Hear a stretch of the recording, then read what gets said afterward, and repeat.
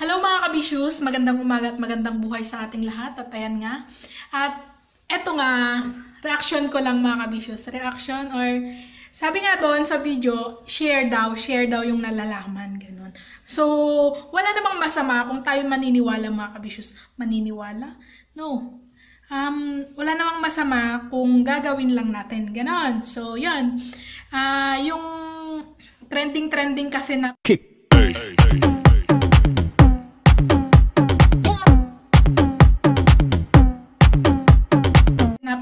Nila sa Facebook na may isang bata daw, isang sanggol daw na isinilang and then nagsalita agad. Ayun.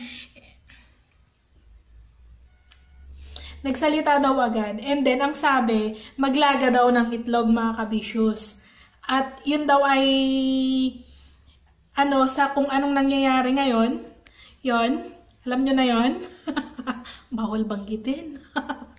So, ayun nga mga kabisyos, nagsalita daw siya na maglaga daw tayo ng itlog at kainin. Ganon. So, wala namang masama mga kabisyos kung maglaga ka na ng itlog ngayon. Ngayon, ngayon na din, kung may itlog kayo sa bahay nyo. Ganon. And then, kainin mo.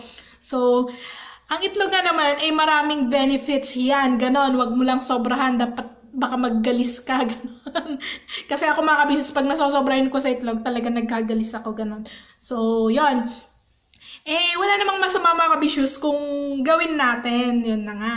Kasi nga, sa panahon ngayon, halos talagang alam naman natin lahat kung anong nangyayari ganon. At nakikita naman natin, nakikita. So, basta ganon. Napabalitaan natin, ganon. So, ayun nga, yung nagiging trending na po sa Facebook na Isang bata daw, isang sanggol daw na isinilang at nagsalita agad. At ayon pa daw sa nurse na nag asikaso nito, ganun nga daw ang sabi. na maglaga nga daw ng itlog and then kainin. Tapos, pagka sabi daw nung sanggol, yung salitang yon na maglaga daw ng itlog at kainin yon yon yon eh, namatay daw yung sanggol mga kabisyo. So sad naman. So, ang sabi din ng iba, eh, baka anghel nga lang daw yon na, mm, yun nga, baka anghel lang daw yon na ginamit, tapos kinuha din agad. Ganon. So, ayun mga kabisyos, panigurado, mauubos ang itlog na naman ngayon sa merkado. Sa merkado talaga. So, yun, baka magpanic buying na naman sila ng itlog, ha? Grabe. yung isang itlog pwede na kayo mag-share. Kasi hindi naman sinabi kung tigi isang itlog. Basta nilagang itlog. So, yun. Ayun mga ka-vicious. Um, tapos, anong tawag ito? Hindi naman masama. Oo, hindi pa sama kung gagawin natin. Kung marami kayong itlog, di ilagan nyo lahat. Ganon. Pero wag, baka maubusan kayo ng pagkain. so, ayun mga ka-vicious. Um, yun nga, yung iba, nagpapasend ng video naman. Yung iba naman, natatawa na lang ako kasi nga, yung ginagawa nilang video minsan, yung nagsasalita ngayon, hindi naman totally nagsasalita yung sanggol and then mamaya may lumalabas na mumo. so, nagugulat ako, ganon. So, nakakapan, nakakatindig balahibo, sabi nila dun sa una. Oo nga, nakakatindig balahibo kasi nga sa huli, gugulatin ka. Yon So, ganon. Ayun mga kabissues, the best way is sumunod tayo sa kung anong sinasabi ng ating government at laging maghugas ng kamay at stay at home lang mga kabissues. Ganon. Hindi na kailangan ng maraming etchos-etchos Simple lang yun. Yun lang mga kabisyo's para lang kasi maiwasan yung pag-spread nun. Ganun lang naman yung point nila dun eh. Para hindi na madagdagan o hindi na pa dumami o hindi pa dumami. Ganon. Gusto nyo pa yatang dumami. So, ayun mga kabisyo's. So, simple lang. Simple lang talaga. Huwag nyong, huwag nyong gawing sobrang critical dahil nasa critical na tayo na part. ah nakakagigil kasi yung mga taong matitigas ang ulo, ganon. So, sobrang gigil lang eh, no? Ganon ako manggigil eh. eh, ayun mga kabisyos, eh, dito sa bahay namin, dalawa lang kami ng lola ko. So, stay at home, lola. eh, katatapos ko lang magpaligo mga kabisyos, kaya, ayan, nakaupo ako. Ching, ching, ching, ching, ching, ching. Ayun nga mga kabisyoso sa pasapan. Tapos yung iba, nagagalaitin na makita yung video daw kasi nga may video daw. Yung iba naman, PM send sa mga gustong magpasend ng video. Ano ba talaga? Simple lang mga kabisyoos, prayer, hugas kamay, stay at home. Yun lang. Hindi masyadong, ano, huwag niyong masyadong gawing critical yung simpleng bagay. Gawin yung gawin niyo yung mga simpleng bagay na inuutos nila para hindi maging critical. Ganun lang yun. Simple, 'di ba? Hindi niyo pa naiintindihan. o spelling pa natin, isa-isa, gano'n, nang maintindihan nyo. Saan nyo ba gusto? Anong lengguwahe ba para maintindihan ng bawat isa? yung gagawin mo lahat eh, para lang maintindihan nila yung simpleng bagay, di ba? Para hindi maging critical ang mga bagay-bagay. Ganun. So, yun. Huwag patigas ang ulo. Paluin nyo sa pet kung tigas-tigas ulo. Ay, hindi pala. Hindi sa pet. Kick.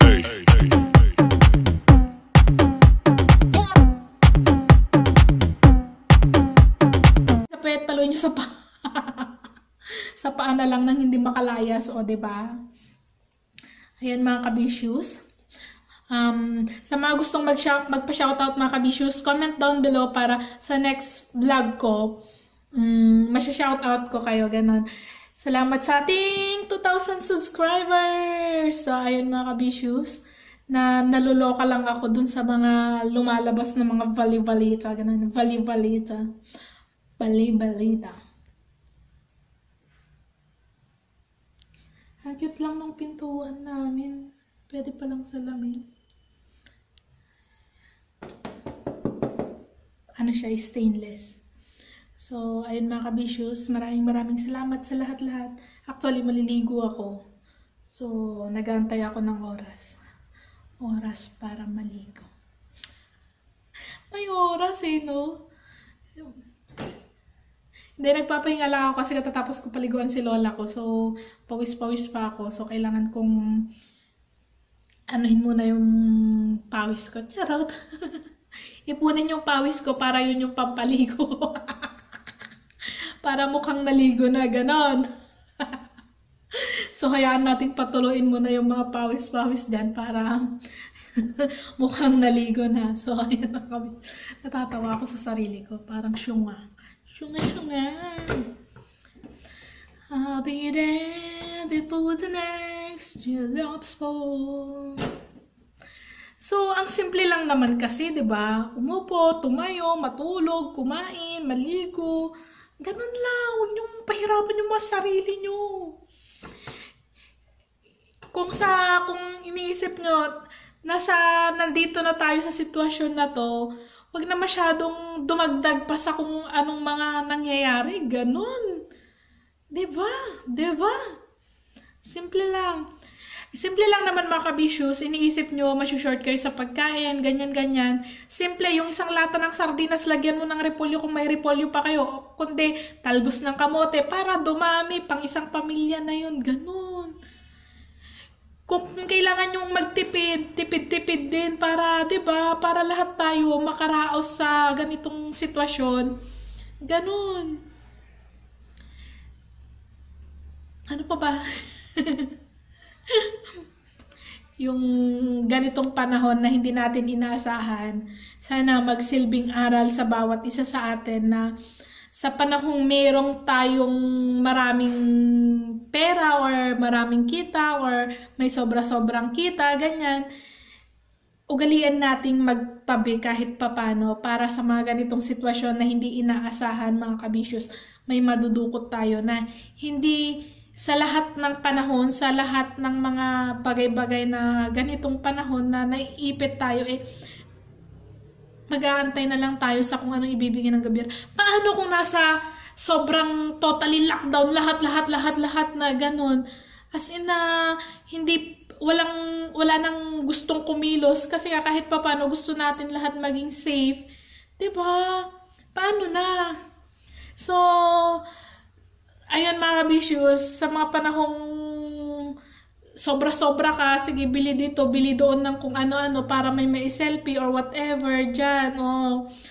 No. Huwag muna nating masyadong unahin yung ating mga ano-ano. Kung sakto lang naman yung sinasahod natin, magtabi tayo, ganun. Ganun. So, ayun. Ayan mga kabisyo's, keep safe everyone at laging maghugas ng kamay, stay at home. Yun lang, that, tapos dasal, samahan ng dasal. Ayan mga kabisyo's, maraming maraming salamat.